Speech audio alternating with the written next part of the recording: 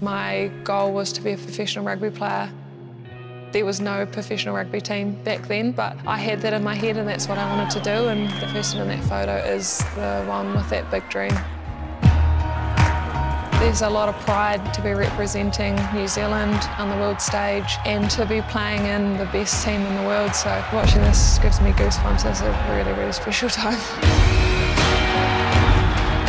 So lucky because I love the people that I get to play alongside and when you win like that it just makes it even more special and I want to continue to inspire others and show people how much opportunity there is out there if you just dare to do it.